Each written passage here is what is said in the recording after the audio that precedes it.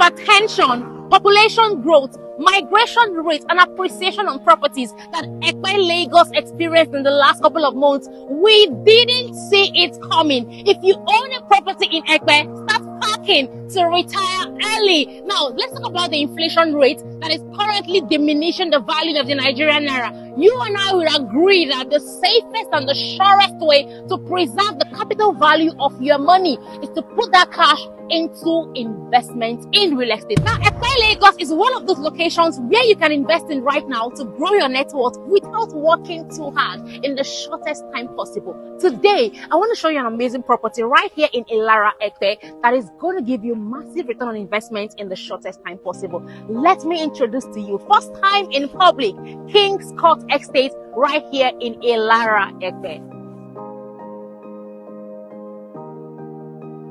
Me blow your mind. This is King's Court Estate and just beside King's Court is the popular Augustine's University. And that's not all. On my right at the end of this road is where we have the Yabatech Epe campus and also the Lagos State University of Education Epe campus. Now what does it mean for you as a, an investor owning a property right here? There's going to be a high demand for residential and commercial spaces in this community. And if you own a property here, you are positioned as the highest beneficiary. Now you can only plot right here in King's Court for 8.5 million naira for a 500 square meters and you don't even need to pay all at once. Make an initial deposit of 1 million naira and you can spread your balance for three months with no interest at all. Now listen to this. With all the foreign investors moving massively into Epe, the heavy government interest, the landmarks, the projects, the investment coming into Epe, they cannot be wrong. But you are wrong if you don't own a property in this strategic location